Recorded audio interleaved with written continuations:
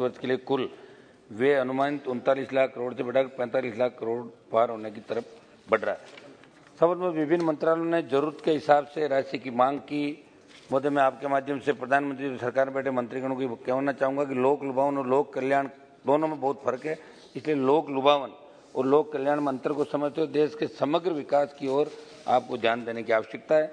कल्याणकारी योजनाओं को खत्म किया जाना किसी भी देश की प्रगति उसके द्वारा समाज के सबसे निचले पायदान पर खड़ी जनता के लिए चलाई जा रही जन कल्याणकारी योजनाओं क्रियान्वयन की सफलता से आंका जाता है।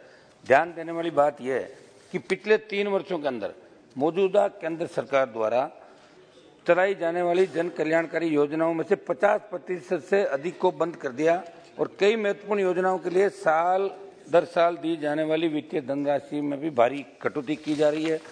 सौद मुद्दे केंद्रीय महिला एवं बाल विकास मंत्रालय की 19 योजनाओं में से अब केवल तीन योजनाएँ चल रही है। एक मिनट। मिशन शक्ति मिशन शक्ति, केंद्रीय मिशन वात्सल्य सक्षम आंगनबाड़ी, इसी प्रकार केंद्रीय पशुपालन, डेयरी मंत्रालय की बारह में से सिर्फ़ दो योजनाएँ चल रही शेष को समाप्त कर दिया गया। समझ मुझे कृषि मंत्रालय की बीस योजनाओं में से वर्तमान में केवल तीन चल रही है। इसके अलावा पिछले तीन सालों में कई मंत्रालयों को दी जाने वाली वित्तीय धनराशि में भी लगातार कमी की जा रही है। पशुपालन और डेयरी मंत्रालय की बारह में से सिर्फ़ दो योजनाएँ चल रही। मंत्रालय ने तीन महत्वपूर्ण योजनाओं को समाप्त कर दिया, जिससे सहकारी समितियों के माध्यम से डेयरी, राष्ट्रीय डेयरी योजना आदि शामिल है। सभापति महोदय, कृषि और किसान मंत्रालय की अब बीस में से तीन योजना कृषोन्नति योजना, कृषि शेखर एक एक योजना और राष्ट्रीय कृषि विकास योजना ही चल रही है।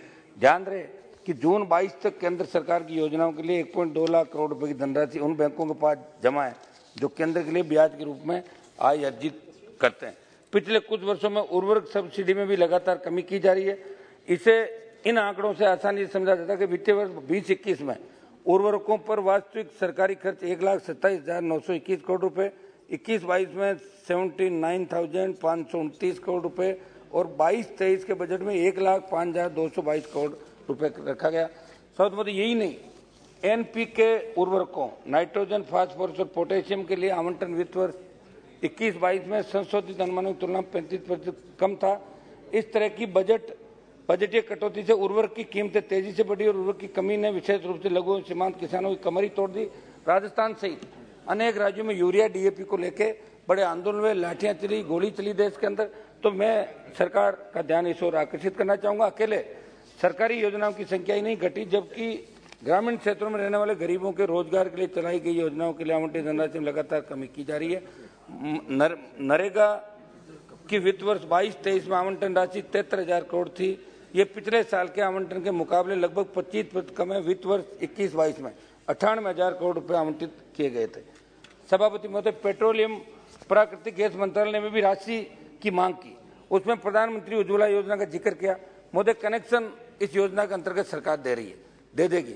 लेकिन वो घरेलू उपभोक्ताओं को मिल रही महँगी गैस, वो व्यक्ति कैसे वहन कर इस दिशा में सरकार को सोचना होगा। आज जिस प्रकार महँगाई ने देश के आम आदमी की कमर तोड़ के रखी है, वो चिंताजनक है। 2014 में एनडीए की सरकार जब बनी, तब पेट्रोल, डीजल की जो कीमत थी, उसकी तुलना आज से करें।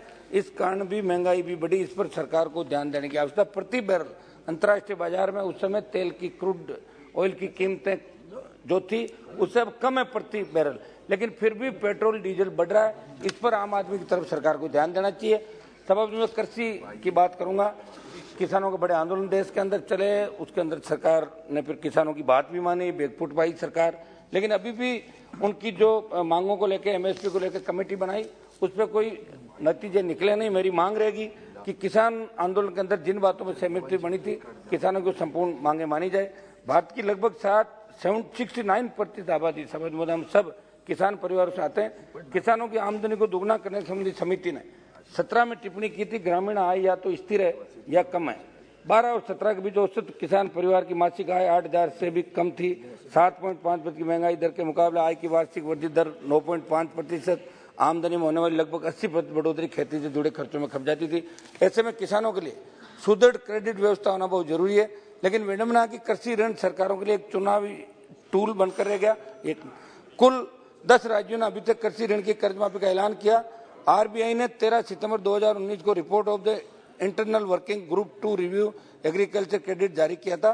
इन दस राज्यों में आठ ऐसे राज्य जो सब ज़्यादा कृषि क्षेत्र में डूबे हैं। हालाँकि इन राज्यों के ज़रिए कृषि कर्ज माफ़ी का ऐलान करना और उसे पूरा कर पाना दोनों में काफ़ी फ़र्क दिखाई दे रहा है। सभापति महोदय, आज जो नेता भारत जोड़ो यात्रा के नाम से देश को जोड़ने की बात कर रहे हैं, उनके, उन्होंने राजस्थान में चुनाव के दौरान ये कहा था कि 10 दिनों में किसानों का कर्जा माफ़ होगा। लेकिन इस कर्ज माफ़ी की बात, तमाम राजस्थान की यात्रा पूरी हो रही है। अभी इनके नेता ने राजस्थान में बात नहीं चलाई। चौदह से उन्नीस तक कुल दस कल प्लीज़ प्लीज़ प्लीज़ एक मिनट। आप बोलिए। चौदह से उन्नीस तक कुल दस राज्यों ने दो लाख छत्तीस हज़ार चार साठ करोड़ कृषि ऋण माफ़ी की घोषणा की लेकिन सिर्फ़ एक उनचास सात सौ नब्बे करोड़ रुपए ही बैंकों को रिलीज़ किया। आरबीआई ने इसकी तस्दीक राज्य सरकार हनुमान जी। समाप्त एक मिनट एक मिनट। बीते पंद्रह पंद्रह मिनट बोल गए लोग दो तीन मिनट में करने नो। नो नहीं नहीं तो पूरी रात बैठने वाले लोग हैं कोरम पूरा हम लोग ही रखते हैं आपका सर अच्छा अच्छा साहब। एक मिनट सर बीते छह वर्षों में केंद्र के ज़रिए किसी भी तरह कृषि कर्ज माफ़ी नहीं की गई। ये तब हो रहा है जब व्यवसायिक बैंक के ज़रिए सत्रह अठारह इक्कीस बाईस दस लाख करोड़ रुपए का नॉन परफॉर्मिंग एसेट या खराब ऋण को पट्टे में डाल दिया। वहीं दूसरी तरफ़ ऐसा लगता है कि आने वाले वर्षों में कृषि ऋण से दबे किसान फिर से उच्च ब्याज दरों पर मैं एक मिनट में अपनी बात लास्ट समाप्त कर रहा हूँ सर। एक सेकंड इसके बाद एक मेरा टॉपिक है खुद का। मैं कर वही डायरेक्ट ब्याज दरों पर निजी साहूकारों की चपेट में। ऐसे में मेरी सरकार से मांग रहेगी कि देश में किसान का संपूर्ण कर्जा माफ़ हो। सभापति महोदय मैं अंत में मेरी बात समाप्त करूँगा। अग्निपथ का मामला कल भी मैंने उठाया था। मेरा निवेदन है कि कल जो घटना हुई वैसे सरकार ने जवाब भी दे दिया चूँकि हम नौजवान हैं और नौजवानों ने इस देश के अंदर सारी जो क्रांतियाँ हुई उसके बाद से लेकर नौजवान ही लड़ रहा देश के लिए और नौजवानों ने ही आपको सत्ता में बिठाया चौदह और उन्नीस। नौजवान और किसान ने मेरी मांग रहेगी कि जिस तरह अरुणाचल के तवांग में एक एक एक सेकंड समाप्त करो। चीन ने जो दुस्साहस किया ये सब इस वजह से हो रहा है कि अग्निपथ अग्निवीर ये बंद करो अग्निपथ। अच्छा, अच्छा। मेरी अपील है समाप्त- मेरी अपील है कि अग्निपथ की वजह से हिमाचल गया। पंद्रह साल से पंद्रह साल से इनका वो है बीजे हिमाचल दो हज़ार सात। नेक्स्ट स्पीकर विदुरी जी एक- एक आप बैठिए मेरा मेरा निवेदन नो नो आप समाप्त कीजिए। निवेदन कर रहा हूँ मैं। मैं अपील कर रहा हूँ अग्निपथ को वापस लें। Yes. देश का जवान देख रहा है रमेश। बिदुरी जी। वापस लें आप योजना। रमेश बिदुरी